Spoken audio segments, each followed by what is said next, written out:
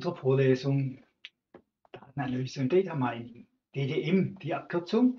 Ich habe die hier mal etwas anders interpretiert, diese Abkürzung, und habe noch was dran gehängt, nämlich Datenanalyse und Data Mining und Machine Learning, weil wir sind ja Informatiker und für Informatiker ist dieser letzte Teil nicht ganz unwichtig. Im ersten Teil heute werden wir uns mal anschauen, worum es überhaupt geht. Ja? Und bevor wir ganz anfangen, ganz, ganz, ganz vorneweg, kommt noch eine Vorbemerkung von mir, die ich einfach nicht lassen kann. Und zwar, Sie wissen vielleicht, ich beschäftige mich auch mit künstlichen neuronalen Netzen und auch mit den natürlichen neuronalen Netzen in der Bioinformatik. Und da stellt sich die Frage, was ist denn das, was wir da oben drin haben? Wir brauchen das, wir wollen das benutzen, das Ding hier, unser Gehirn, unser Nervensystem weil sie wollen ja was lernen. Und lernen, das machen sie hiermit. Was hat es mit diesen Tierchen hier auf sich? Komme ich gleich dazu. Die erste Frage, die wir uns stellen müssen, ist, wozu haben wir denn dieses Ding eigentlich? Denken Sie mal kurz nach. Wahrscheinlich denken Sie irgendwie, ja, zum Studieren, zum Nachdenken, zum was lernen. Stimmt aber nicht. Denn ganz viele Tiere und Tierchen, die haben auch so ein Gehirn, die haben auch ein Nervensystem, das ganz, ganz ähnlich funktioniert wie unseres. Jeder Regenwurm, jede Schnecke hat sowas. Und die denken ganz bestimmt nicht besonders viel. Und die lernen ganz bestimmt nichts über Data Mining und können ganz bestimmt keinen Computer programmieren, so wie sie. Das heißt, unser Gehirn hat die Evolution gebaut, nicht um zu studieren, sondern unser Gehirn hat die Natur für was ganz anderes gebaut. Nämlich, das Gehirn ist eigentlich dazu da, hier unsere Feinmotorik zu bedienen. Ja?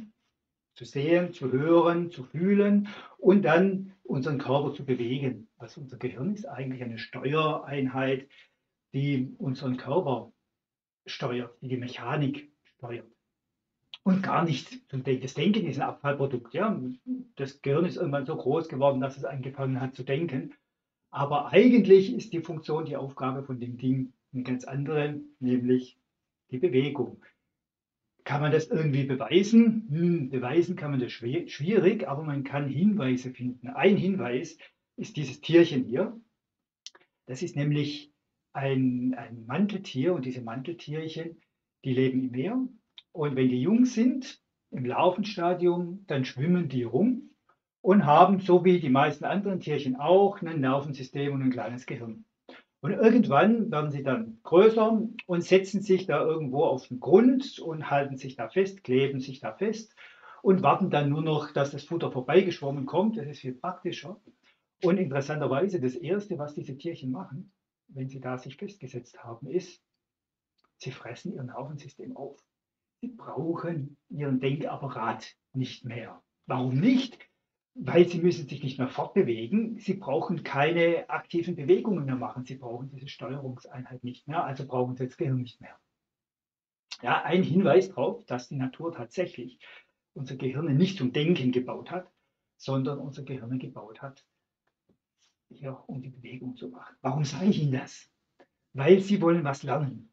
Dazu brauchen Sie Ihr Gehirn. Dazu müssen Sie Ihr Gehirn möglichst gut einsetzen. Und am besten funktioniert natürlich das Gehirn, wenn Sie so einsetzen, wie die Natur sich das vorgestellt hat. Also, wenn Sie sich bewegen. Und deshalb ist auch überhaupt keine Frage, da sind sich alle Neuro, Neurologen und Neurodidaktiker einig, ist keine Frage, Lernen, hier auch studieren, geht umso besser, je mehr Sie sich bewegen. Ja, deshalb bewege ich mich hier, während ich Ihnen was erzähle, das ist ganz gut. Deshalb ist es vielleicht auch gar nicht, wäre es gar nicht so dumm, wenn Sie ein bisschen vor dem Bildschirm hin und her laufen, also nicht bloß im Bett liegen, mit dem Laptop auf den Knien und da reinklotzen, sondern bewegen Sie sich ein bisschen, damit in Ihrem Gehirn was passiert, damit in Ihrem Gehirn, während Sie sich bewegen, Verbindungen gelöst werden, neue Verbindungen geknüpft werden, neue Neurone sich kontaktieren, sich kennenlernen.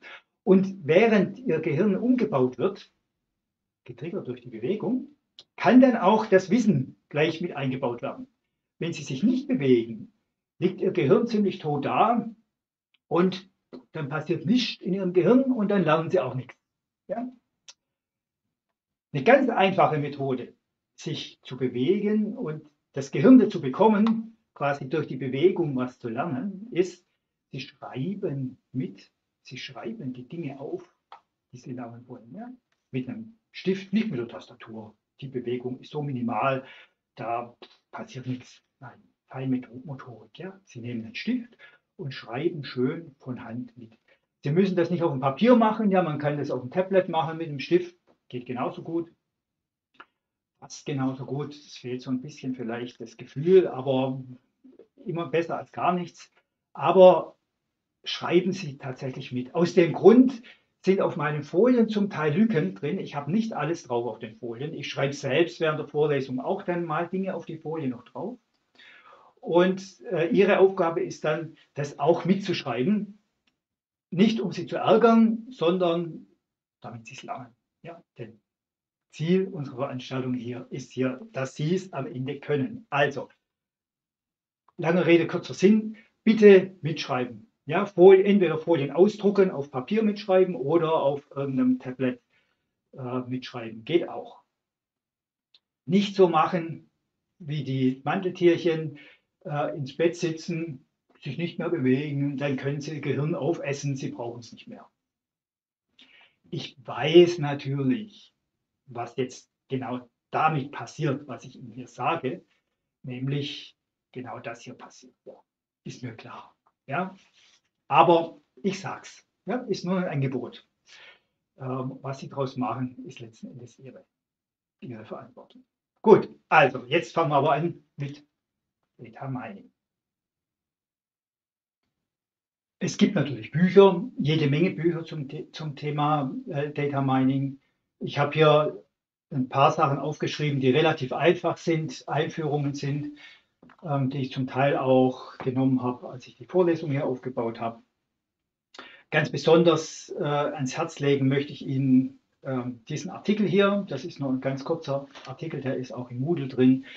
Der ist vielleicht so die Initialzündung äh, vom, vom Fayad, der Artikel. Der zeigt sehr schön, was eigentlich Data Mining will, ja, was wir insgesamt mit dieser Wissenschaft vorhaben. Er benutzt auch einen anderen Begriff zum Teil, er, er spricht von Knowledge Discovery statt von Data Mining. Sage ich gleich noch was dazu. Gar nichts zu tun. Ja, und was machen wir inhaltlich in der Vorlesung? Wir müssen jetzt natürlich Datenanalyse, Data Mining und Machine Learning irgendwie alles, alles behandeln.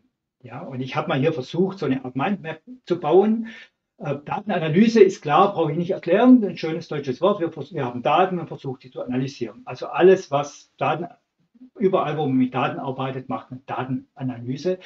Statistik ist Datenanalyse zum Beispiel. Ja, die größte Teil der Datenanalyse auch heute noch ist vielleicht Statistik.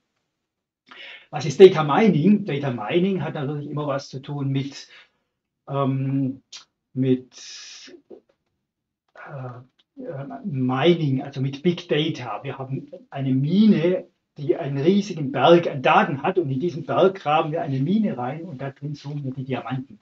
Also wir suchen die Körnchen Erkenntnis, die kleinen Diamanten in einem großen Berg aus, aus Daten.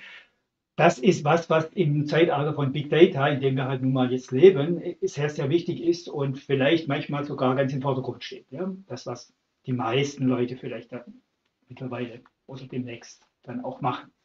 Also Data Mining. Data Mining wiederum besteht zum großen Teil aus der Datenvorbereitung. Wir haben die Daten, also einen Berg aus Daten, den müssen wir erstmal hernehmen und müssen den vorbereiten dafür, dass wir Mining betreiben können. Und dann den eigentlichen Modellierungsalgorithmen. Das heißt, wir versuchen dann zu erkennen, wie die Daten inhaltlich zusammenhängen und daraus Erkenntnisse abzuleiten. Das ist generell, wir versuchen ein Modell zu machen der Realität basierend auf diesen Daten, versuchen das Modell mit Hilfe der Daten an die Realität anzupassen, um dann aus diesem Modell Voraussagen oder, oder Aussagen über das Wesen der, äh, also über die Realität treffen zu können. Idealerweise, wenn unser Modell sehr gut ist, können wir sogar extrapolieren. Wir können zum Beispiel die Zukunft vorhersagen. wir können eine Wettervorhersage machen. Wenn wir die Daten des Wetters von heute, von jetzt verstanden haben, können wir ein Modell bauen und daraus sogar die Zukunft vorhersagen. Also deshalb, deshalb modellieren. Und was wir hier machen, ist, hier ist die Informatik. Ja, das ganze Violettfarbene hier ist die Informatik. Das sind Algorithmen, die müssen programmiert werden. Da drüben ist eher so die Datenwissenschaft. Da muss man verstehen, wie die Daten funktionieren. Und hier kommt die Informatik und da kommen die Algorithmen und das wird natürlich den größten Teil auch unserer Vorlesung einnehmen. Wir sind Informatiker, wir wollen programmieren und wir werden eine ganze Reihe dieser Algorithmen im Laufe der Vorlesung hier programmieren. Ich habe die hier mal unterteilt in unterschiedliche Typen. Das eine sind die Clustering-Algorithmen. Die werden wir auch als erstes uns anschauen. Und zwar Clustering damit meine ich im Prinzip alle Algorithmen, die unüberwacht arbeiten. Das heißt, wir haben Daten und wir wissen nicht, was die bedeuten und wir versuchen Muster in diesen Daten zu finden, ohne dass wir vorher echtes Wissen haben. Das ist sehr, sehr wichtig, vor allem am Anfang einer Analyse. Man sagt dazu auch explorative Datenanalyse. Wir schauen einfach mal, was geben uns die Daten her an Informationen. Ja, das nächste da unten sind zum Beispiel Regressionsmodelle, die man auch statistisch machen kann. Also wir versuchen einen Zusammenhang zwischen Messgrößen und ähm, irgendwelchen Zielgrößen herzustellen, mit Hilfe von linearer Regression oder nicht linearer Regression. Und ein ganz großer Teil des modernen Machine Learnings beschäftigt sich hier mit Klassifizierungsalgorithmen. Das heißt, wir haben Daten von Objekten, die zu verschiedenen Klassen gehören. Zum Beispiel in der Produktion haben wir irgendwelche Messdaten, Fotos, Gewichte von irgendwelchen Produkten, die vom Fließband rollen. Und manche von den Dingern sind perfekt, manche sind, also sind vielleicht Qualitätskategorie A, andere sind nicht so gut, die haben irgendwie kleine Macken oder ein bisschen in der Größe eine Toleranz überschritten, die sind Qualität B und dann gibt es vielleicht welche, die sind ganz missraten, die sind Qualität C. Ja, dann haben wir in allen Produkten, die unser, unsere Maschine ausspuckt, die unser Fließband ausspuckt in der Produktion, haben wir drei Klassen, Qualität A, B oder C. Und wir können vielleicht sogar von jedem Ding sagen, welche Klasse das ist, weil da einer daneben steht, der uns das sagt. Also, oh, das ist A, das ist A, das ist A, das ist B, das ist C, das ist A und so weiter. Und jetzt können wir hergehen und schauen, ob wir einen Algorithmus programmieren können, der auch diese Zuordnung richtig machen kann. Der dann eben vollautomatisch sagen kann, das ist Qualität A, B oder C. Das sind Klassifizierungsalgorithmen. Und Sie sehen, da gibt es ganz arg viele. Ja, und wir werden sehen im Laufe der Vorlesung, obwohl es da so viele gibt, man braucht sie eigentlich gar nicht alle. Es gibt sehr viele drunter, die auch funktionieren. Man kann fast alle Probleme, die es so gibt, mit fast allen Algorithmen hier lösen. Ja, das ist dann persönliche Vorliebe. Der eine benutzt Support Vector Machines, der andere benutzt Random Forests, der dritte nimmt Boosting-Algorithmen, der vierte nimmt neuronale Netze. Ja, immer mehr wollen mit neuronalen Netzen arbeiten. Aber das heißt nicht, dass das unbedingt besser ist. Ja. Alles, was, fast alles, was man mit einem neuronalen Netz macht, kann man auch mit einem Boosting-Algorithmus genauso gut hinkriegen. Ist persönliche Vorliebe. Wir schauen uns natürlich nicht alles an, das wäre zu viel, aber wir schauen uns eine Menge davon an. Ja, hier habe ich mal eine Übersicht aufgeschrieben über die Vorlesung. Da ich meine Vorlesungen jedes Semester ein bisschen weiterentwickle, kann ich noch nicht versprechen, dass ich mich genau daran halten darf. Ja, ich denke mal so ganz grob werden wir da durchgehen. Ganz sicher gibt es die Einführung am Anfang. Ganz sicher kommt der Block über Daten dann als zweites. Ähm, und höchstwahrscheinlich kommen die unüberwachten, die explorativen Methoden dann zuerst. Und dann kommen in irgendeiner Reihenfolge ähm, die anderen Dinge. Das kann sein, das ändert sich, aber das werden Sie dann laut. Okay, schauen wir rein. Was ist Data Mining? Wenn man bei Wikipedia guckt, sieht man hier diese Erklärung stehen. Ich lese es jetzt mal nicht vor, das können Sie, glaube ich, selbst lesen. Zusammengefasst, das, was wir machen, ist, wir versuchen, Wissen zu extrahieren, das gültig ist im statistischen Sinne, unbekannt und vielleicht auch noch nützlich. Ja, also Wissensextraktion, Data Mining äh, macht keinen Sinn, wenn das am Ende nicht nützlich ist, logischerweise. Ja, dann, wenn Sie das Fired Paper lesen, der nennt dieses Ding äh, Knowledge Discovery. Knowledge Discovery in Databases, technisch ausgedrückt. Und wir versuchen eben Modelle zu bauen, die Daten beschreiben. Das ist das, was wir abstrahiert hier eigentlich betreiben. Also das ist Data Mining und Data Mining ist deshalb tatsächlich der Überbegriff, der alle Wissenschaften, alle Datenwissenschaften eigentlich einschließt. Vor allem die Modellierung, vor allem das Machine Learning als Teilgebiet des Data Mining. Genau, habe ich gerade schon gesagt. Ja, also Extraktion von Wissen. Als Informatiker wollen wir das natürlich automatisieren. Das hatte ich gerade Ihnen verschwiegen noch. Ja, also die automatisierte Extraktion von Wissen aus Big Data. Ja, das Ziel soll eine richtige Aussage sein, nicht bloß irgendwas, sondern es soll auch richtig sein. Und ob richtig oder falsch, können wir im Normalfall nicht sagen. Wir können aber sagen, ob es statistisch valide ist, also ob wir statistisch signifikante Ergebnisse haben oder nicht. Deshalb muss man immer auch ein bisschen Statistik dazu natürlich betreiben und auch können. Okay, was ist das jetzt? Tja, also Daten. Wir haben einen Tisch, wir haben so einen Zollstock und wir messen mal, wie lang der Tisch ist. Ja, und ähm, dann messen wir 250 cm, der Tisch ist zweieinhalb Meter lang. Also, Daten sind 250 cm, die Realität ist unser Tisch und das Wissen, das wir extrahieren, er ist zweieinhalb Meter lang, er ist 250 cm lang. Naja, vielleicht auch nicht, denn wenn wir den Tisch mehrmals messen oder wenn ich mehreren Leuten von Ihnen jetzt so einen Zollstock in die Hand gebe und jeden von Ihnen bitte, den Tisch zu messen, dann wird ja höchstwahrscheinlich Folgendes passieren. Jeder von Ihnen wird wahrscheinlich ein bisschen anderen, was anderes messen. Und jetzt ist die Frage, was ist jetzt unser Wissen? Wie lang ist denn der Tisch? Ist der Tisch jetzt 250 cm und 1 mm lang? Oder ist er 249 cm und 8 mm lang? Oder ist er zwischen 249 und 251 cm lang? Ja, aber stimmt ja nicht. Der Tisch hat ja eine exakte Länge. Ich kenne sie noch nicht. Ja, also im Normalfall, wenn wir irgendwelche gemessenen Daten haben, dann ist es mit dem Wissen gar nicht so einfach, weil die Messungen sich widersprechen, ja, weil die sich gar nicht einig sind. Was tun? Wir brauchen jetzt so ein ganz kleines bisschen Statistik. Und zwar schon in dem einfachen Fall macht es Sinn, die Daten nicht einfach anzugucken und sich irgendwas rauszupicken oder zu sagen, den Wert, der am häufigsten vorkommt oder irgendwie sowas, sondern in dem Fall macht schon Sinn, eine erste einfache explorative Datenanalyse zu machen. Und das einfachste und schnellste, was man immer machen kann, ist ein sogenanntes Histogramm. Das ganz da hinten, ganz links.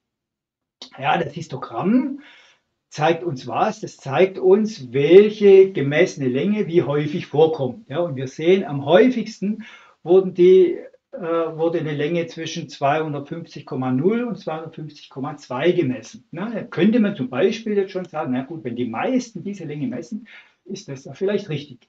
Das findet aber wieder in unserem Kopf statt. Das sagt uns kein Algorithmus der Welt, sondern das müssen wir entscheiden als Anwender welcher Größe wir vertrauen. Man könnte auch sagen, wir nehmen den Mittelwert, ja, aber weiß nicht, ob das so ein guter Plan ist. Wenn irgendein äh, einer unter Ihnen ist, der einfach komplett ungenau misst und so in, über Kreuz schaut und den, den Zollstab nicht ablesen kann, dann äh, zerschießt uns der Mittelwert. Ja? Der, der, der misst 3,5 Meter zum Beispiel und dann ist plötzlich unser Mittelwert, weiß ich wo, bloß weil einer falsch gemessen hat. Das heißt, Mittelwert ist meistens ein ganz, ganz, ganz schlechter Plan. Zumindest das arithmetische Mittel ist ein ganz schlechter Plan. Deshalb benutzen wir als Mittelwertschätzer normalerweise nicht das arithmetische Mittel, sondern wir benutzen den sogenannten Median, ja, den sehen Sie ja auch dargestellt, der Median. Und zwar der Median ist nicht das arithmetische Mittel, also Summe von allen Zahlen geteilt durch die Zahl, sondern der Median ist die mittlere Zahl. Sprich, gehe nochmal zurück, wir ordnen alle diese Werte der Größe nach, vom kleinsten bis zum großen, und dann schauen wir, welche steht in der Mitte. Dann sagen Sie sowas Blödes. Nee, gar nicht blöd. Wenn äh, die Messwerte halbwegs ordentlich verteilt sind, dann ist die Zahl, die in der Mitte steht, tatsächlich ziemlich gut auch ähm, der mittlere Wert. Und der Vorteil davon ist, dass Ausreißer hier keine Rolle spielen. Ja, wenn jetzt hier einer noch 3,50 Meter gemessen hat, also eine viel längere Zahl, dann spielt es überhaupt keine Rolle. Die mittlere bleibt immer gleich. Ja, deshalb schauen wir uns den Median an. Sie sehen hier, der Median ist 250,1 Zentimeter. Und wir können uns nicht nur den Median anschauen. Der Median ist nämlich eigentlich nichts anderes als, wir schauen in unserer Liste, quasi, wo ist der mittlere Wert? Das ist eine andere, das ist, die, die Zahlen hier sind andere als die vorne, als die auf der, auf der nächsten Folie. Das ist schade. Aber wir schauen, wo ist der mittlere Wert und dann sagen wir, wenn, die Hälfte, wenn wir quasi die Hälfte von unten, wenn wir von unten anfangen zu zählen und wir haben 50 Prozent der Messwerte weg, dann sind wir auf dem Median. Ja? Das heißt, der Median heißt nichts anderes als die Hälfte aller Messwerte ist kleiner als dieser Median. Und dieses, die Hälfte, das können wir jetzt natürlich auch mit anderen Verhältnissen machen. Wir können auch sagen, ja, wo ist denn die Größe oder wie lang ist denn der, wie, wie ist denn die Länge, ähm, bei der ein Viertel der Messwerte kleiner ist? Und wo ist die Länge, bei der drei Viertel der Messwerte kleiner sind? Und das sind diese äh, ähm, Quartilen, die wir hier haben, nämlich die erste, die zweite und die dritte. Ja, das erste Quartil, das sind 25 Prozent der Messwerte unten drunter. Ja, das ist hier in, diesem, in dieser Darstellung, die heißt übrigens Boxplot. Soll ich Ihnen das aufschreiben? Ich schreibe Ihnen das mal auf. Boxplot.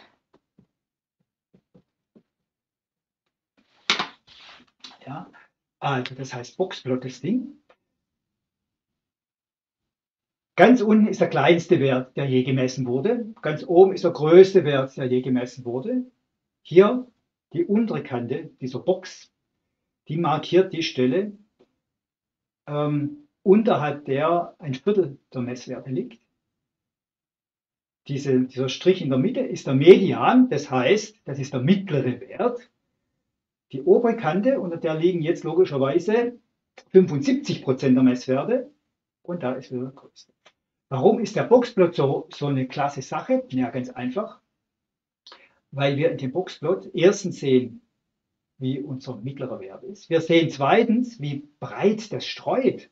Ja, wie weit liegt denn das auseinander? Ähm, zwar quasi von 25 bis 75 Prozent heißt ja, die Hälfte aller Messwerte, die gemessen wurden, die liegen in dieser, in dieser Kiste drin, die liegen in dieser Box drin. Und da können wir sehen, ist es sehr schmal, dann haben, Leute, dann haben die Leute immer sehr gleich gemessen. Oder ist es sehr breit, dann haben die Leute sehr unterschiedlich gemessen. Und wir sehen noch, wo die kleinsten und die größten sind. Ja, also statt einfach zu sagen, der Tisch ist 250 Zentimeter lang, ist es im, im ersten Schritt eine clevere Sache, ein Histogramm zu machen.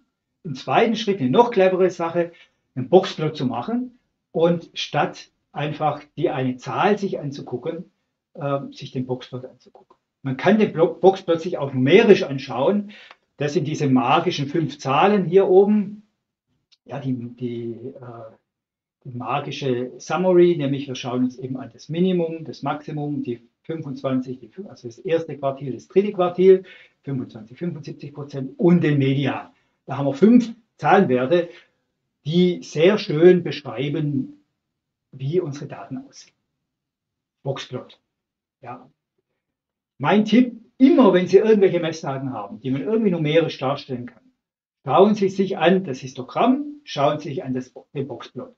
Da sehen Sie viel, viel besser als in irgendwelchen Tabellen, irgendwelchen Werten, wie das Ganze aussieht. Wenn Sie nicht plotten können, aus welchem Grund auch immer, dann schauen Sie sich wenigstens diese fünf magischen Zahlen an in allen ähm, Softwarepaketen, in allen Plattformen, mit denen man Datenanalyse machen kann, gibt es sowas automatisch. Ja. In R zum Beispiel gibt es den Summary-Befehl, ja, in, in, in SciPy, Python oder Julia oder äh, MATLAB gibt es überall entsprechende Befehle, dass man sich diese fünf Zahlenwerte direkt aus, ausspucken lassen kann, ja, weil das eben so ist.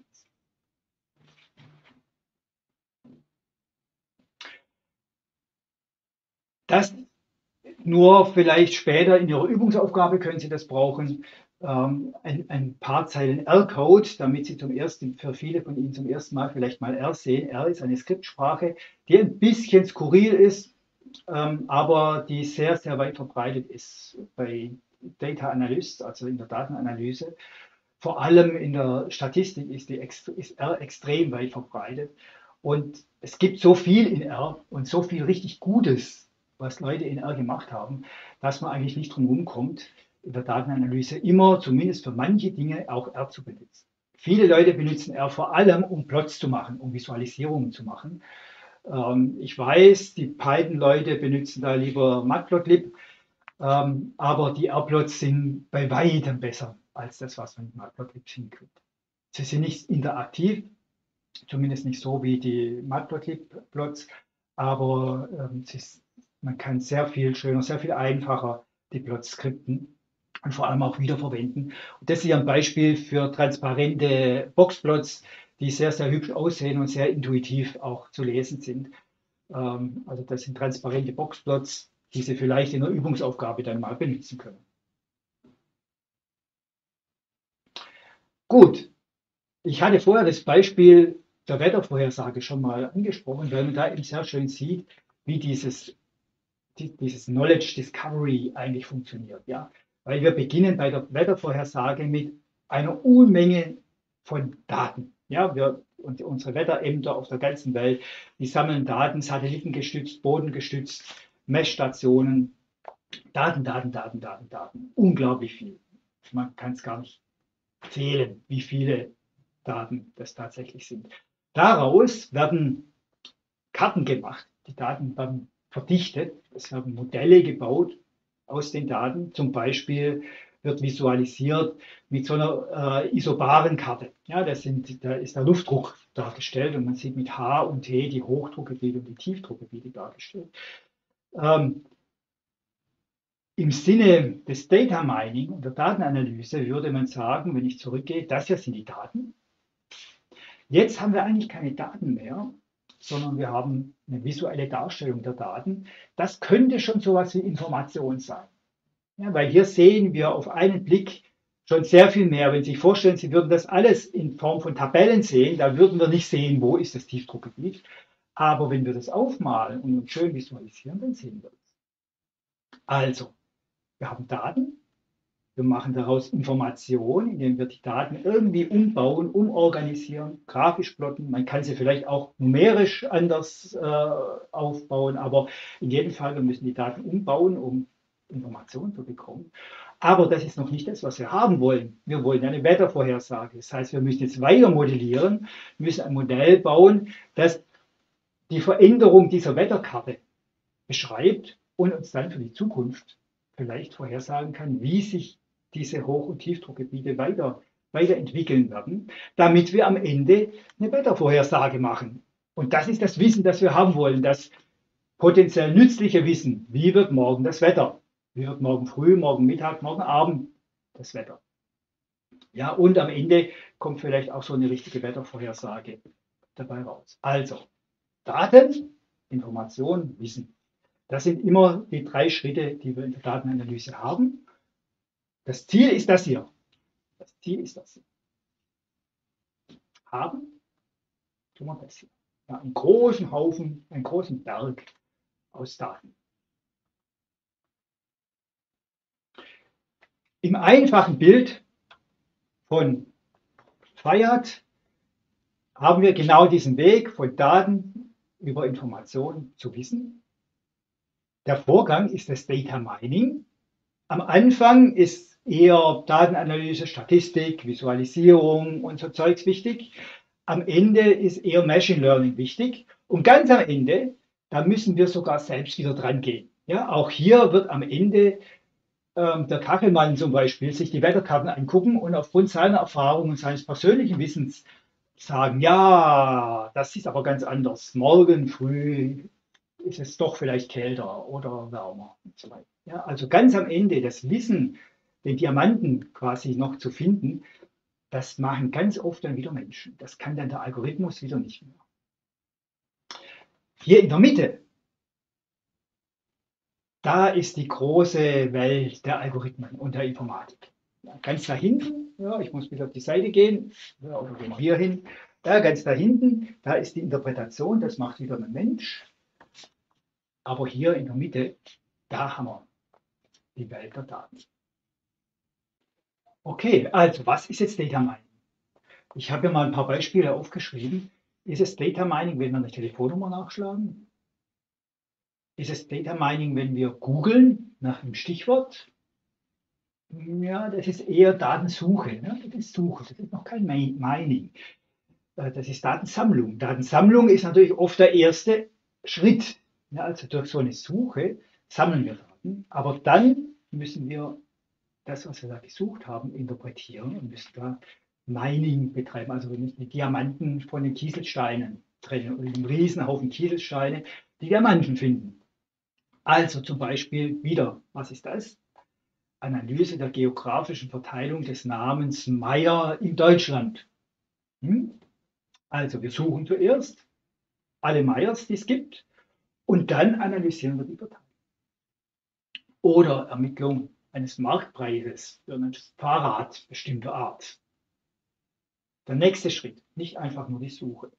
Oder wir suchen die Tyrosinkinase, die heißt auch BMX. Ja, Bioinformatiker, Molekularbiologen suchen auch BMX, die meinen aber kein Fahrrad, sondern die meinen Proteine dazu. Also da, auch das ist natürlich der Unterschied. Wenn wir googeln, nach Worten googeln, dann haben wir da noch dann sind einfach Worte, die sind vielleicht mehrdeutig. Also wir müssen von Worten weg auf Begriffen, wir müssen die Bedeutung erkennen von dem, was wir da, was wir da finden. Sonst haben wir einfach nur Kieselsteine, die keine Bedeutung haben. Ich hatte es schon implizit so ein bisschen angesprochen, wenn wir die Bedeutung von Daten erkennen, Modelle bauen, dann können wir das grundsätzlich auf zwei Methoden tun, nämlich wir können hier bei unserem Tischbeispiel gezeigt, wir können es einfach beschreiben, das ist deskriptiv, was wir hier machen, oder wir können es, wir können Vorhersagen machen, dann ist es prädiktiv, ja, also deskriptive Beschreibung der Realität, deskriptive Modellierung beschreibend oder prädiktiv mit dem Ziel, eine Vorhersage zu machen. Das ist ein wichtiger Unterschied. Soll ich dazu schreiben?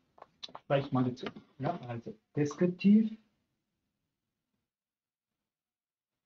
Deskriptiv oder predictive.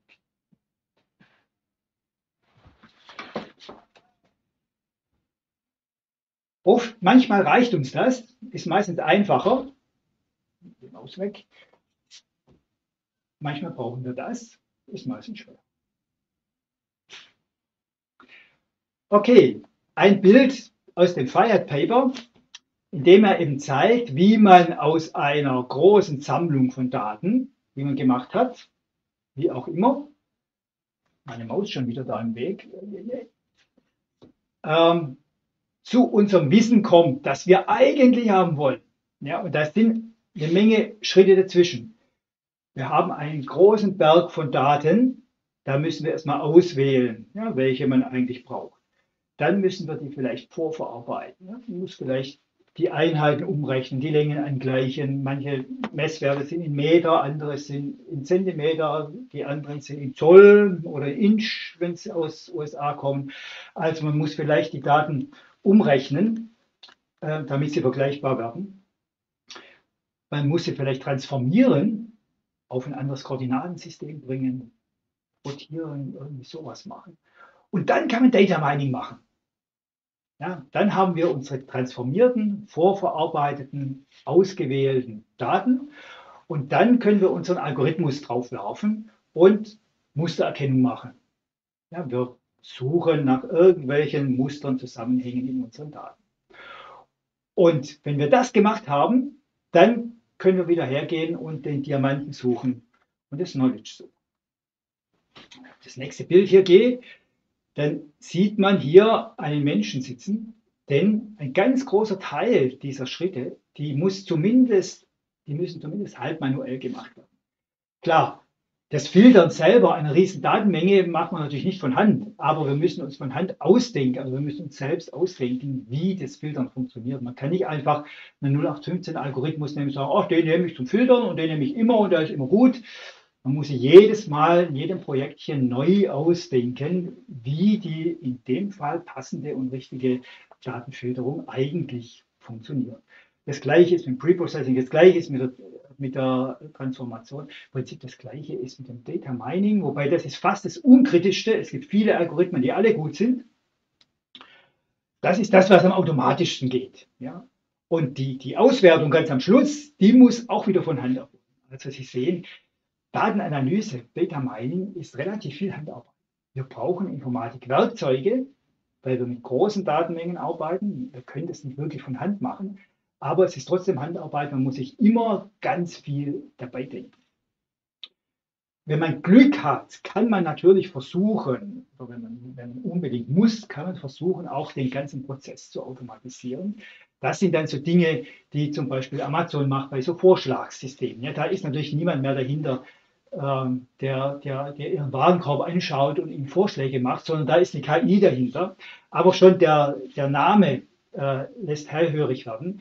Ja, in dem Moment sprechen wir von einer KI. Das heißt, da unterstellen wir schon, ah, das war nicht ein dummer Algorithmus, ja, sondern das war eine KI. Eigentlich muss es ein Mensch machen. Und wenn, wenn wir einen Algorithmus haben, der das auch kann, dann ist das eine künstliche Intelligenz. Hm, stimmt natürlich nicht. Ja, da ist keine künstliche, also keine Intelligenz dahinter. Da ist ein Algorithmus dahinter, der irgendwas macht, hm, was eben vielleicht sonst ein Mensch gemacht hätte. Und dann nennen die Leute das KI. Mittlerweile nenne ich selber manchmal auch schon KI, weil es einfach alles so tun ist. Der Begriff KI äh, ändert sich ein bisschen im Laufe der Zeit.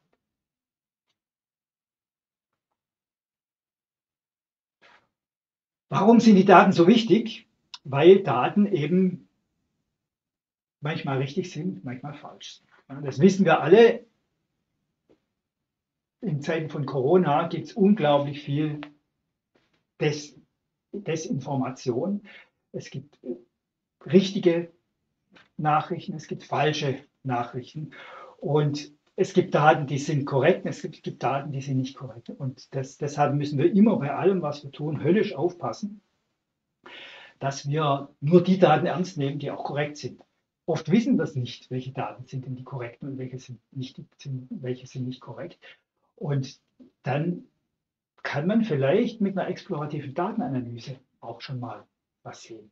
Wir werden uns ein paar Beispiele anschauen, einfach um Sie ein bisschen zu sensibilisieren ähm, darauf, wie man Daten und Informationen und vielleicht auch einfache statistische Zusammenhänge hinterfragen kann und äh, interpretieren oder missinterpretieren kann. Ja, Sie haben bestimmt sowas ja schon gesehen. Wie kann man Fake News ähm, erkennen? Schauen, wo es herkommt, Hintergrundinformationen äh, sich besorgen, schauen, wer hat es denn geschrieben, ganz, ganz wichtig, ja, wo kommt eine Information her? Könnte der, der es verbreitet hat, vielleicht ähm, äh, eine, eine, eine, Motivation haben, sie in die Irre zu leiten? Ja? Da sieht man eigentlich das meiste schon. Wenn man sieht, ah, der hat es geschrieben, der will ja was ganz Bestimmtes erreichen, also könnte sein, dass es alles korrekt ist, was er schreibt, aber vielleicht auch nicht. Ist es vielleicht ganz, das Ganze sowieso bloß ein Witz? Ja? Und was, was sagen die Experten dazu? Auch ganz wichtig. Vielleicht gibt es irgendwo Experten, denen man vielleicht doch vertrauen kann oder denen man vertrauen sollte. Also in Corona-Zeiten, was sagt der Drosten dazu? Dem, ja, der hat keinen Hintergedanken und kennt sich besser aus als jeder einzelne von uns. Also müssen wir eigentlich schon vertrauen, dem vertrauen, was der sagt. Ja. Wem nicht? Wem nicht dem. So, jetzt gibt es aber natürlich ein paar so Dinge, die führen tatsächlich jeden von uns in die Irre. Und das ist das nächste, was ich jetzt mit Ihnen angucken will. Vielleicht hat der eine oder andere von Ihnen schon mal was vom Simpson-Paradoxon gehört. Ähm, Da gibt es zum Beispiel die Statistik, die belegt, dass Raucher länger leben als Nichtraucher. Ähm, wie kommen die da drauf? Naja, die, haben, die sind hergegangen und haben geschaut, woran sterben denn Raucher? Raucher sterben zum Beispiel an Lungenkrebs, Raucher sterben an ihrer kaputten Lunge. Die Krankheit heißt COPD. Und jetzt kann man schauen, wie alt sind zum Beispiel durchschnittlich Leute, die an Lungenkrebs sterben. Und tatsächlich sind Leute, die an Lungenkrebs sterben, im Schnitt viel älter, deutlich älter als der Durchschnitt, in dem bei uns Leute sterben. Also, wenn die Raucher an Lungenkrebs älter sind, wenn sie sterben, als Durchschnitt der Bevölkerung, dann heißt es ja, dass die im Durchschnitt älter geworden sind. Das bedeutet, Raucher leben länger als Nichtraucher. Ist natürlich Bullshit. Ja, denken Sie selber darüber nach, warum das Bullshit ist. Sie können mal googeln nach Raucher leben länger und Lungenkrebs und Sie werden hunderte von ernsthaft gemeinten Seiten von Akademikern und von Ärzten zum Teil auch äh, lesen, die Ihnen wunderbar erklären, dass es tatsächlich so ist, ja, dass die Raucher tatsächlich älter werden. Sind vermutlich selber auch Raucher, die das schreiben. Aber es ist trotzdem Bullshit und äh, ich erkläre es Ihnen nicht. Denken Sie selber drüber nach. Warum ist es Unfug, wenn man das durchschnittliche Sterbealter von Lungenkrebstoten vergleicht mit dem, ähm, mit dem durchschnittlichen Sterbe, Sterbealter der Bevölkerung und sagt, weil die alle älter sind. Und das sind alles Raucher, ja, so gut wie niemand, der nicht Raucher ist, stirbt an Lungenkrebs. Ähm, Deshalb leben die Raucher länger. Ja, denken Sie selber darüber nach. Das Phänomen nennt sich das Simpsonsche Paradoxon und genauer erklären möchte ich es in einem anderen Beispiel. Und zwar, das hat sich tatsächlich so zugetragen. In etwa Ende der 1970er Jahre wurde die University of Berkeley in Kalifornien tatsächlich verklagt von äh, Frauenrechtsorganisationen, weil die herausgefunden haben, dass die Universität Frauen bei der Zulassung benachteiligt. Ja, die Datenlage ist eindeutig. Ähm, Im Jahr 1973 zum Beispiel wurden 8.400, haben sich 8.400 Männer beworben, es haben sich 4.300 Frauen beworben. Von den Männern wurden 44 Prozent zugelassen, von den Frauen wurden nur 35 Prozent zugelassen. Ja, und äh, da gab es eine Klage und die, dem wurde sogar stattgegeben, also die Universität wurde tatsächlich äh, verurteilt dazu, sie musste was ändern. Die haben das aber nicht hingenommen, sondern haben, sind dann den Rechtsweg weitergegangen, ja, zu den höheren Gerichten. Und irgendwann, ich glaube erst zwei Stufen höher, ähm, ist dann tatsächlich äh, die Klage wieder abgewiesen worden, weil nämlich die Datenlage tatsächlich nicht so klar aussieht, wie das hier scheint. Man könnte nämlich zum Beispiel hergehen und sagen, naja, es sind ja nicht alle Studiengänge gleich, ja, sondern es gibt an jeder Hochschule auf der Welt gibt es Studiengänge, die sind relativ frei zugänglich. Da kann jeder studieren, der sich einschreibt. Und es gibt andere Studiengänge, da gibt es sehr hohe Hürden zum Beispiel Numerus Clausus oder Eingangstests oder und so weiter. Ja. So auch in Berkeley. Ja. Und wenn man jetzt hergeht und sagt, wir unterteilen mal die Studiengänge in die, die sehr niedrige Zulassungsbeschränkungen haben und, wir, und in die, die äh, höhere, die, die strenge Zulassungsbeschränkung haben, dann sehen die Zahlen so aus. Und jetzt kann man hergehen und ausrechnen, wie viel Prozent der Frauen und der Männer werden denn in diesen Studiengängen ohne Zulassungsbeschränkung zugelassen und wie viel werden in denen mit Zulassungsbeschränkung zugelassen. Sie können selber mal rechnen, ich rechne auch mal und dann schauen wir uns das an. Also ich zähle jetzt einfach mal die Prozente von Bewerber zu zugelassen, und zwar für die Männer bei den freien Studiengängen, das sind es etwa 67 Prozent, bei den Frauen, das sind es etwa 80 Prozent. Und bei den Studiengängen mit Numerus Clausus, da sind es hier etwa 27 Prozent und da auch etwa 27 Prozent. So. Also, was sehen wir? Wir sehen bei den Fächern, in denen tatsächlich eine Auswahl stattfindet, wo also hohe Zulassungsbeschränkungen sind, da werden anteilmäßig gleich viele Frauen und Männer zugelassen. Allerdings haben sich da mehr Frauen beworben als Männer. Das ist der Unterschied. In den Studiengängen mit nur geringen Zulassungsbeschränkungen, da werden tatsächlich sogar mehr Frauen zugelassen als Männer. Das heißt, wenn man das so schaut, dann findet da tatsächlich eine Diskriminierung statt, aber diskriminiert werden nicht die Frauen, sondern diskriminiert werden die Männer. Das Simpsonsche Paradoxon, ja, wir sehen hier, wenn wir die Gruppen aufteilen, wenn wir Gruppen bilden und die, dieselbe Analyse machen mit Gruppen oder mit der Gesamtheit, dann kann tatsächlich das Ergebnis, das Wissen, das wir hier daraus ableiten, das kann sich tatsächlich umkehren. Woran liegt es? Ich hatte es schon angesprochen, es liegt natürlich daran, dass sich hier nur sehr wenig Frauen bewerben. Ja? Hier werden zwar 80 Prozent der Frauen zugelassen, aber es bewerben sich nur etwa ein Zehntel so viele wie Männer. Es sind vermutlich alles ingenieurwissenschaftliche Studiengänge, wo es einfach weniger Frauen gibt, während hier sich mehr Frauen bewerben und deshalb unterm Strich weniger Frauen zugelassen werden. Aber es ist keine Diskriminierung. Und Sie sehen selbst, Gerichte und Richter lassen sich da in die Irre führen, weil es ist einfach nicht so einfach zu sehen. Man muss genauer reinschauen. Das bedeutet, wenn man Gruppen bildet, kann man im Prinzip die Interpretation von solchen Zahlen komplett in die eine oder andere Richtung drehen. Und es ist gar nicht so einfach zu sagen, was ist denn jetzt richtig? Ist es wirklich richtig, diese Gruppen zu bilden? Oder wäre es vielleicht richtiger, das als Gesamtheit zu betrachten? Ich denke, in dem Fall ist es schon richtig, die Gruppen zu bilden. Ja? Denken Sie mal drüber nach. Ich glaube. Anderes Beispiel vom amerikanischen Präsidenten damals im Wahlkampf verwendet, beziehungsweise von beiden Parteien in den USA im Wahlkampf verwendet, war die Frage, ob zwischen 1974 und 1978 die, die Steuerlast der amerikanischen Bevölkerung gestiegen ist oder gefallen ist.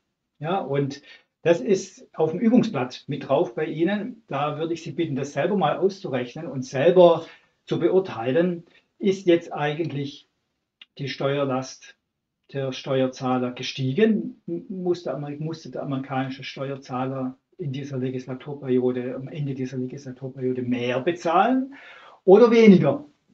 Rechnen Sie es mal nach als Ganzes oder wieder geteilt in Gruppen und dann schauen wir mal, was dabei rauskommt. Okay, das können wir überspringen. Es gibt natürlich auch ganz andere Dinge, die in die Irre führen können. Das hier ist ein interessantes Paper, das ich mal zufällig gefunden habe. Und zwar Nature kennen Sie vielleicht. Das ist die renommierteste naturwissenschaftliche äh, Fachpublikation, die es gibt. Und dort hat der Herr Sies, ein Deutscher, hat dort ähm, diese Kurzkommunikation äh, publiziert, wo er sagt, ähm, in Deutschland gibt es große Bedenken wegen der sinkenden Geburtenrate. Und er hat ja aufgetragen, auf, ein, auf der einen Seite die, die Geburtenrate, hier auf der, auf, der, der, auf der rechten Seite, auf der linken Seite hat er aufgetragen, äh, die Anzahl brütender Storchenpaare in Deutschland. Und man sieht wunderbar, wie die Geburtenrate mit der Zahl der Storchenpaare korreliert. Das heißt, ja, er schreibt im Text, jedes Kind weiß, dass das Sinn macht. Wenn man die neuen Zahlen dazu nimmt, ja, er hört hier irgendwie zwischen 1975 und 1980 auf, wenn man dann neuere Zahlen mit dazu nimmt, dann sieht man, dass das irgendwann tatsächlich nicht mehr stimmt. Aber was ist hier für ein Problem? Hier ist das Problem, dass wir eine Korrelation haben zwischen zwei Größen. Wir haben eine ganz strenge Korrelation zwischen den Storchelpaaren und der Geburtenrate. Und Korrelation heißt aber nicht, heißt nicht Kausalität. Nur weil was sich gemeinsam entwickelt, sich gleich verhält, heißt es nicht, dass das eine die Folge vom anderen ist. Und zwar äh, könnte man jetzt sagen, das heißt nicht unbedingt, aber richtig wäre zu sagen, das heißt nie. Also man kann nie, wenn man Korrelation findet, daraus auf Kausalität schließen. Das ist ein Fehler, den die Leute immer und überall und dauernd machen. Ja, man hat zwei Entwicklungen, die parallel laufen und dann sagt man, ja, das ist doch völlig klar, weil das so ist, ist das so. Das ist nie so. Man weiß nicht, ob es zusammenhängt oder nicht. Ja? Kann zusammenhängen, kann nicht zusammenhängen. Hm? Wissen wir es? Wir wissen es. Wenn Sie mal googeln nach äh, Korrelation und Kausalität, da findet man jede Menge interessanter Zusammenhänge, die eben zufällig den gleichen Verlauf haben. Ganz besonders nett finde ich hier die Mordrate im Staat New York, die sich genau nach diesem Gebirgszug richtet. Ja, da müsste man jetzt nur gucken, wie hier das Gelände weitergeht, ob hier vielleicht wieder ein Berg kommt und dann kann man warten, dass die, die Mordrate wieder steigt. Also man findet immer zufällige Zusammenhänge. Und das hat definitiv nichts mit Kausalität zu tun. Das ist ein, äh, ein Fehler, der extrem oft gemacht wird. Eine andere Geschichte sind absichtliche oder unabsichtliche Fehler in der Visualisierung, die uns in die Irre leiten, die auch die Daten falsch präsentieren, falschen Schluss nahelegen. Ja, hier ist zum Beispiel, das ist auch aus einer, aus einer Publikation ähm, einer, einer Partei im Wahlkampf gewesen vor ein paar Jahren. Und zwar wurde da eben, wurde eben die, letzten Endes die Statistik zugrunde gelegt, die sagt, Durchschnitt, die durchschnittliche Wohnungsgröße in Deutschland ist 150 Prozent, also anderthalb Mal so groß wie die von einem Sozialleistungsempfänger. Und dann sind sie hergegangen, haben mal einfach so einen, so einen Grundriss von einer Wohnung genommen und den 150 Prozent größer gemacht und haben gesagt, guck mal, wie groß der Unterschied ist. Ja, die armen Leute müssen in so einer kleinen Hundehütte leben und so lebt der Durchschnitt. Ist natürlich Bullshit. Ja. Denken Sie selber drüber nach, wo hier der Bullshit ist. Warum ist das falsch? Vielleicht können Sie es auch selber richtig machen. Probieren Sie mal, ob Sie es hinkriegen, dass Sie das richtig machen und wie das dann aussieht, wenn man es richtig macht. Ja. Das Gleiche Bild hier. Ja, Bundesregierung 2003 hat damit angegeben, dass der Kindergeldsatz extrem erhöht wurde. Ja, von 1998 bis 2002, in den vier Jahren. Jetzt sehen Sie mal, wie stark hier der Kindergeldsatz gewachsen ist. Ja, wir fangen an 1998 bei 115 Euro und sind hier bei 155 Euro. Das ist natürlich ein Wachstum. Ja, von 115 auf 155 ist ein Wachstum. Aber ist das tatsächlich dieses Wachstum von diesem Winzlingswägelchen da hinten zu diesem Lindenwagen da? Was ist hier falsch? Was ist hier falsch? Denken Sie kurz drüber nach. Warum ist das Bullshit? Ja, erstens ist es Bullshit, weil was hier zählt, ist die Höhe dieses Wagens. Was wir aber sehen in unserem Auge, ist seine Fläche. Ja, der ist ja nicht nur höher, der ist auch breiter. Und wenn was doppelt so hoch ist und doppelt so breit ist, dann haben wir viermal so viel Fläche. Ja, also wir sehen hier statt doppelt so groß, der hier ist, der hier ist vielleicht doppelt so groß wie der erste, aber was wir sehen, ist eigentlich viermal so groß, weil die Fläche eben viermal so groß ist. Und dann ist ein zweiter, noch böserer Trick, der, also das mit der Fläche statt der Höhe, das passiert vielen. Und da kann man oftmals sogar noch den Leuten zugute halten, dass die das selber nicht merken, dass sie diesen Fehler machen. Aber den zweiten Fehler hier, den muss jeder merken. Nämlich der Wagen, der steht nicht auf der Nulllinie, sondern der steht auf der 100. Ja, das heißt von 115 auf 155. Das würde ganz anders aussehen, wenn der Wagen auf der Nulllinie stehen würde. Dann wäre der halt ein kleines bisschen größer, aber würde nicht so brutal wachsen. Also die Zahlen sind richtig, die Visualisierung ist übertrieben. Ich habe das Tagesschau-Visualisierung genannt, weil man eben in den Medien, in der Tagesschau jetzt vielleicht, äh, nicht, vielleicht müsste ich Russia Today Visualisierung nennen oder so, oder Instagram Visualisierungen, Facebook Visualisierungen. In der Tagesschau sieht man es Gott sei Dank äh, immer seltener solche Fehler. Äh, in anderen Medien äh, findet man solche Fehler natürlich häufiger und häufiger und häufiger. Ja, ähnliches Beispiel, Bevölkerungszahl. China, verschiedene Länder, China, Russland, EU. Denken Sie selber darüber nach, was hier falsch ist. Oder nochmal äh, noch was aus der FAZ. Ja, also die wollten es richtig machen. Was zeigt uns diese Grafik? Diese Grafik zeigt uns die Umverteilung von Vermögen basierend auf Sozialleistungen und Steuer, Steuerlast. Und da sehen Sie mal also die, die Leute, die ein geringes Einkommen haben, die bekommen unterm Strich Geld und ab einer bestimmten Grenze hier, so um die 3000 Euro rum, da müssen die Leute netto was abgeben an den Staat. Und jetzt sehen Sie mal die armen, reichen Leute an. Ja? Wenn jemand 10.000 Euro verdient, dann muss er unterm Strich 8.000 Euro davon abgeben. Boah. Also wenn das kein Argument ist, den Spitzensteuersatz für Bestverdiener zu senken, weil das kann ja wohl nicht sein. Ist auch nicht so, natürlich, ist auch wieder Bullshit.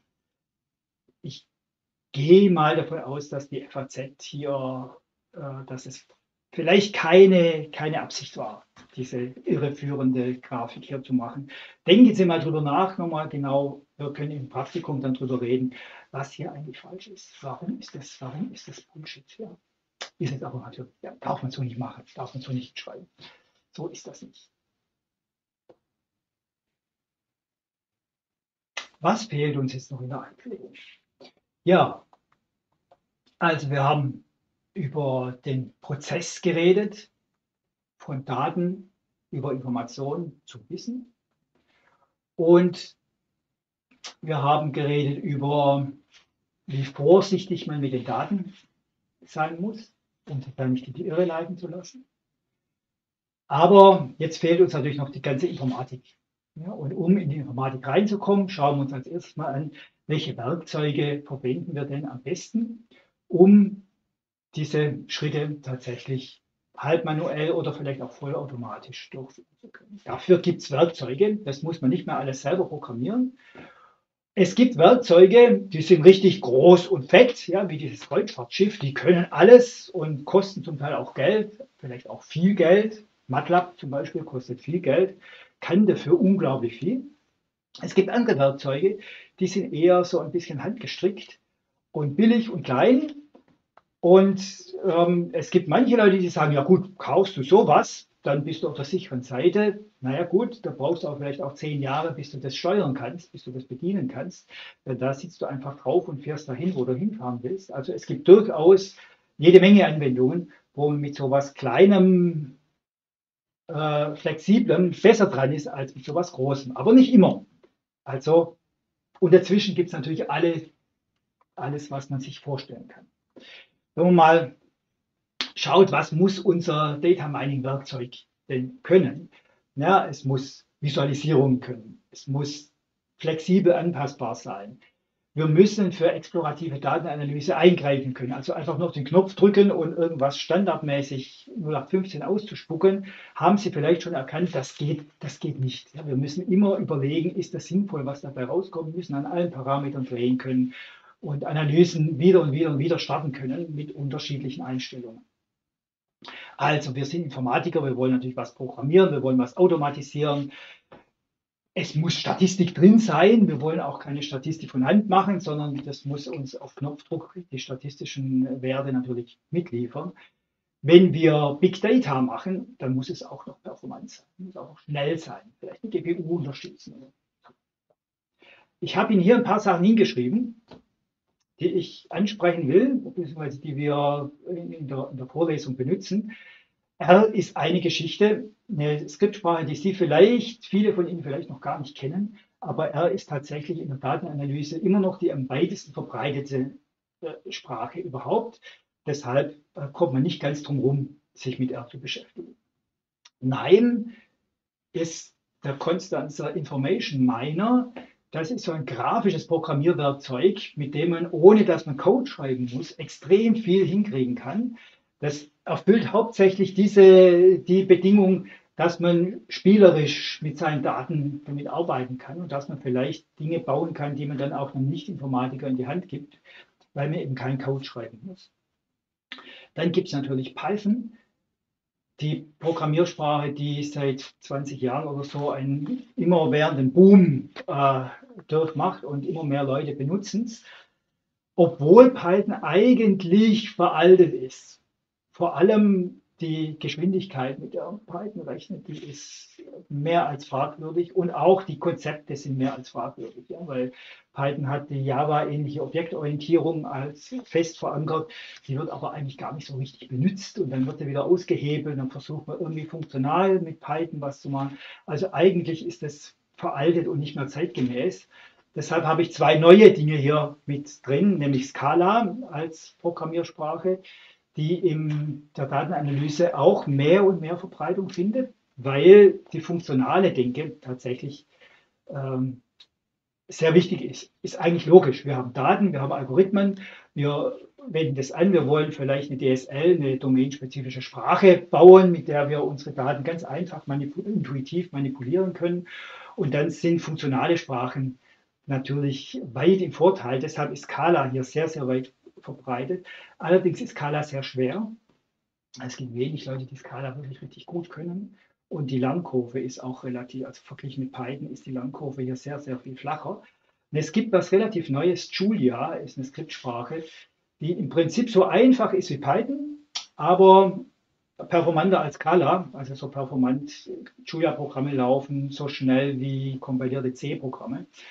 Und ähm, es ist auch nicht, es ist nicht so schön konsequent funktional wie Scala, aber äh, geht stark in die Richtung, also mehr funktionale Konzepte als Python. Deshalb äh, mache ich zum Beispiel, ich mache alles, was ich mache zurzeit mit Julia.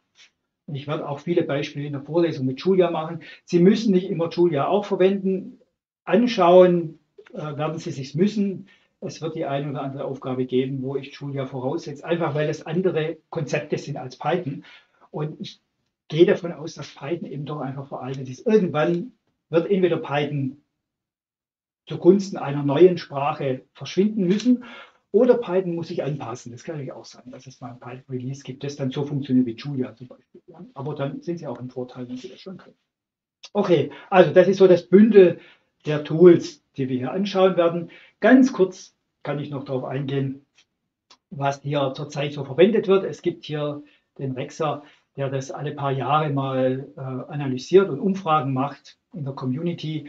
Und Sie sehen hier eben, das war jetzt, das war, ist nicht 2001, sondern eine 2019er äh, Umfrage ist es. Es gibt leider noch keine neuere. Ähm, aber da ist R extrem weit vorne. Ja, also die, ähm,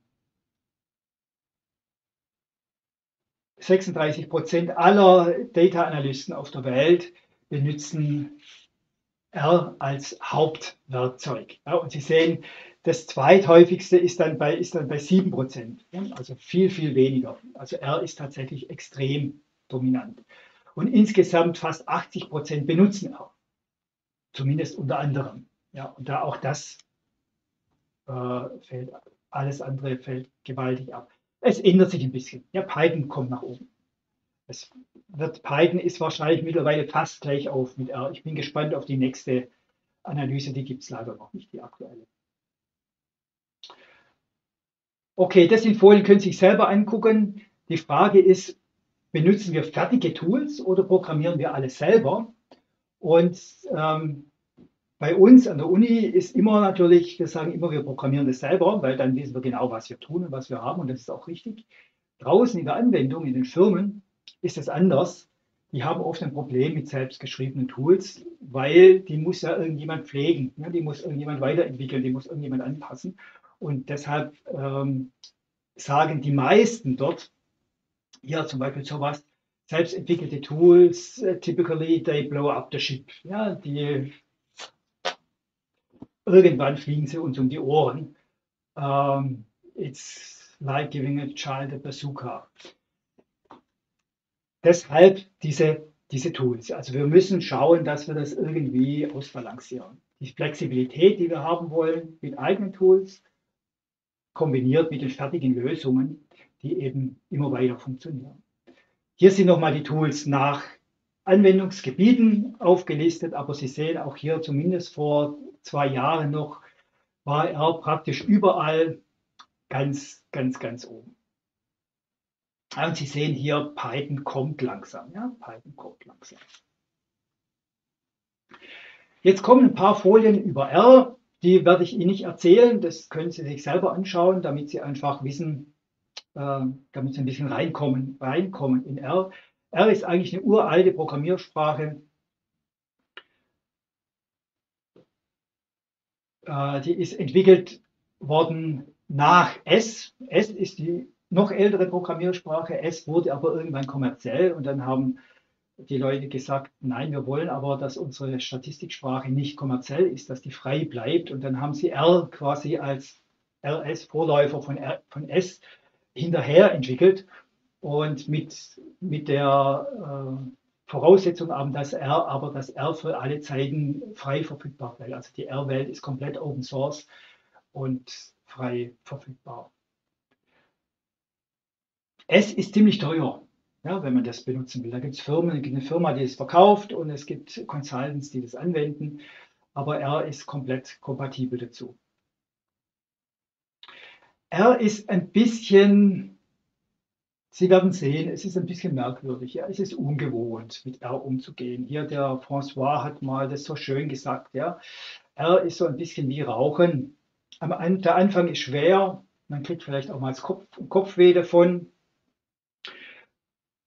wenn man es öfter benutzt, wird es immer netter und vielleicht wird man sogar süchtig danach, weil es irgendwie so nett ist. Und wenn man es aber auf den Punkt bringt, dann muss man eigentlich schon zugeben, so ganz gesund ist es wahrscheinlich nicht.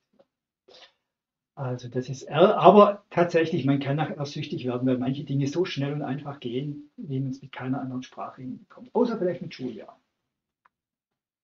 Ähm, die ganze R-Welt, die tummelt sich in diesem Kran, ja, im Comprehensive R Archive Network. Dort gibt es alles, also jeder, der irgendwelche R-Pakete entwickelt, packt die dort rein. Im Gegensatz zur Python-Welt ist das extrem qualitätsgesichert. Also Python kann ja jeder ein Paket machen und deshalb gibt es zu jeder Anwendung 100 Python-Pakete, die alle nur halb funktionieren. So ist es in der R-Welt nicht. Die offiziellen R-Pakete in Kran, die sind extrem qualitätsgesichert und funktionieren alle das ist alles, da muss auch die Dokumentation 100% komplett sein. Das ist, ist auch extrem viel Aufwand, so ein Paket zu machen. Trotzdem gibt es so viele, das ist erstaunlich, ähm, dass sich die Leute die Mühe machen.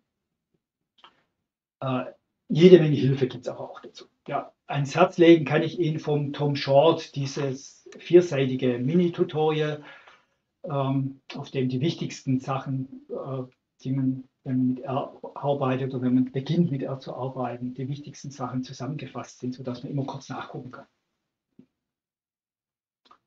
Okay, der Constanza Information Miner, habe ich Ihnen schon gesagt, das grafische Tool, das sieht so aus. Ja? Sie erkennen es vielleicht, das ist im Prinzip die Eclipse. Also der Constanza, der NIME ist im Prinzip eine Eclipse-Erweiterung oder ein Eclipse-Plugin. Das nimmt die GUI von, von Eclipse und äh, baut darauf so eine grafische Programmieroberfläche, auf der man solche Knoten reinziehen kann, die dann die man mit Pfeilchen verbinden kann und sagen kann, schieb meine Daten in den Knoten, in den, in den, in den, in den. Und da gibt es mittlerweile tausende solcher Knoten. Ja. Auch Machine Learning Knoten, Statistikknoten, Bildverarbeitungsknoten. Unglaublich viel gibt es da mittlerweile. Auch alles frei, nicht alles Open Source weil es gibt auch Firmen, die NAND-Knoten bauen, aber alles frei verfügbar. Und dann natürlich Julia. Ja, das ist äh, mein Liebling in letzter Zeit, weil Julia so einfach und intuitiv ist. Ähm, ein paar Einführungen hier, weil ich werde Sie dazu zwingen, an ein paar Ecken auf jeden Fall mit Julia zu arbeiten, einfach damit Sie es kennenlernen und dann können Sie sich hier entlang hangeln, ähm, um da möglichst schnell reinzukommen. Lernen sich aber von selbst, ist so einfach, ist kein Problem. Und dann natürlich Julia. Ja, das ist äh, mein Liebling in letzter Zeit, weil Julia so einfach und intuitiv ist. Ähm, ein paar Einführungen hier, weil ich werde Sie dazu zwingen, an ein paar Ecken auf jeden Fall mit Julia zu arbeiten, einfach damit Sie es kennenlernen und dann können Sie sich hier entlanghangeln, ähm, um da möglichst schnell reinzukommen. Lernen sich aber von selbst, ist so einfach, ist kein Problem. Tja, und wer meint, er müsse unbedingt C programmieren oder Perl, um obfuscated Code zu schreiben, also Code, den man nicht lesen kann und der nette Sachen macht, dem sei gesagt, dass das mit Julia auch geht. Ich probiere das hier gerade mal. Ich habe Ihnen hier dieses Herzchen mal hingeschrieben. Äh, lassen Sie mich mal einen Terminal öffnen. Julia hat ja so wie Python auch eine REPL. Macht mal ein bisschen größer, dass Sie das gut sehen können. Ich starte die Julia REPL und kopiere mir jetzt dieses Herzchen hier rein. Mal gucken, ob es funktioniert. Okay, also Julia ist schön, wie man sieht. Man kann nette Sachen damit machen. Ähm, aber man kann natürlich, beziehungsweise man sollte natürlich ähm, in Julia nicht so programmieren, wie es hier da steht, sondern man sollte natürlich in Julia so programmieren, wie man es in Python macht, nämlich gut lesbar und möglichst einfach. So, bevor wir jetzt zum Ende kommen, kommt hier nochmal die Übersicht über alle Algorithmen oder über die meisten Algorithmen, die wir in der Vorlesung uns hier anschauen. Das ganze Violette hier. Drüben nochmal aufgeschrieben, es gibt die regelbasierten, künstliche Intelligenz, Algorithmen, referenzbasierte ähm, Klassifizierer oder modellbildende Algorithmen, Regressionsmodelle, unüberwachte explorative Datenanalyse und so weiter. Und die Frage, die man jetzt immer stellt, ist, welches ist denn jetzt der beste? Ja, es gibt einen Kollegen, der schwört auf die Support-Vector-Maschinen. Es gibt einen anderen Kollegen, der schwört auf künstliche neuronale Netze. Ähm, tja, was ist es? Die Antwort ist relativ einfach. Es gibt keinen besten Klassifizierer. Es gibt stattdessen das sogenannte No-Free-Lunch-Theorem. Das No-Free-Lunch-Theorem steht da oben. There ain't no such thing as a free lunch. Es gibt nichts umsonst. Ja, es gibt kein äh, Mittagessen umsonst. Was will das heißen? Das heißt, es gibt nicht einfach die Antwort, nimm den Klassifizierer und dann ist alles gut. Sondern es gibt nur Klassifizierer, die vielleicht für bestimmte Aufgaben besser sind als andere Klassifizierer, als andere Algorithmen. Aber das hat einen Preis. Und was ist der Preis? Der Preis ist, dass diese Algorithmen dann für andere Aufgaben schlechter sind. Das heißt, im Schnitt, wenn wir alle möglichen Data Mining Aufgaben anschauen, die wir haben, und alle möglichen Algorithmen anschauen, dann sind im Schnitt auf alle Algorithmen, auf alle Aufgaben angewendet, alle Algorithmen gleich gut. Ja, ganz so stimmt nicht. Es gibt schon manche, die sind besser. Aber ja, im Prinzip sind sie, also das Theorem sagt, die sind alle, im Schnitt sind sie alle gleich gut. Das bedeutet, es ist eigentlich ja völlig egal, welchen ich jetzt nehme. Ganz so ist es nicht, denn vielleicht weiß ich ja, was meine Daten für Eigenschaften haben. Und dann kann ich auch entscheiden, welcher Algorithmus der bessere ist. Und man nennt das, wir müssen den problemspezifischen Bias, den Bias kennen. Ja, Bias ist eigentlich immer was, was Schlechtes. Wenn wir irgendwelche Daten haben und da ist ein Bias drin, also messen, Sie messen Ihren Tisch ja, mit den 2,50 Meter, wenn Sie jetzt einen Zollstock haben, der falsch ist, ja, der ein bisschen zu lang ist, ähm, dann messen Sie immer ein bisschen zu wenig, weil Ihr Zollstock zu lang ist. Ähm, dann würde man sagen, das ist ein, ein Bias in der Messung, der, der, die Messung verfälscht. Hier ist eine andere Art Bias gemeint, nämlich ein Bias, der in den Daten drin ist und ein Bias, der in dem Problem vielleicht drinsteckt. Also nehmen wir mal an, wir wollen hier alle in der Vorlesung heute Abend zusammen essen gehen. Und jetzt fragen wir, welches Restaurant wäre denn das Richtige? Ja, wo, in welche Kneipe gehen wir denn? Könnte einer sagen, ja, Steakhouse ist immer gut. Ja, die meisten Leute mögen irgendwas, was es im Steakhouse gibt. Ähm, kann man nicht sagen, ob es den Leuten schmeckt oder nicht. Wenn man aber wüsste, wie viele Vegetarier unter Ihnen sind, ja, vielleicht sind ja die Hälfte von Ihnen Vegetarier, dann weiß ich auch, dass das Steakhouse vielleicht kein guter Plan ist. Ja? Und das ist der Bias, den ich meine. Also wenn in unserem Problem ein Bias steckt, nämlich der Bias, dass überdurchschnittlich viele Vegetarier unter Ihnen sind, dann weiß ich, dass Steakhouse schlecht ist. Und genau das ist das, was wir in unserer Datenanalyse wissen müssen. Also wir müssen unsere Daten kennenlernen, wir müssen unser Problem kennenlernen und wir müssen schauen, gibt es irgendwo einen Bias, gibt es irgendwo eine Besonderheit in den Daten, die uns dann hilft, den Algorithmus auszusuchen, der genau auf diesen Fall der richtige ist. Das ist nicht direkte Konsequenz vom No-Free-Lunch-Theorem, aber das ist die einzige Art und Weise, dem No-Free-Lunch-Theorem zu entkommen. Also die einzige Art und Weise, auf eine sinnvolle Art und Weise einen Algorithmus rauszusuchen, der tatsächlich besser ist als ein anderer für dieses Problem. Problemspezifischer Bias und No-Free-Lunch-Theorie. Ganz, ganz, ganz, ganz, ganz wichtig, wird uns natürlich das ganze Semester über begleiten. Nur hier ganz am Anfang wollte ich das auf jeden Fall Ihnen nochmal sagen. Ja? Okay, also mit diesen Mäusen hier beenden wir jetzt den ersten Vorlesungsblock hier endlich. Und ich sehe Sie nachher im Praktikum. Ja, genau. Bis dann.